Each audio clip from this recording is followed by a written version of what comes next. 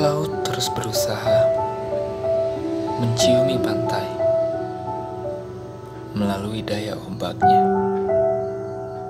Ia bahagia meski mungkin cintanya tak pernah sampai. Senja yang teramat merah melihat dan mengawasi mereka yang masih menerka-nerka.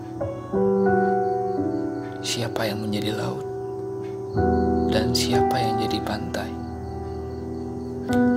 Siapa yang pasang surut dan siapa yang sedia landai?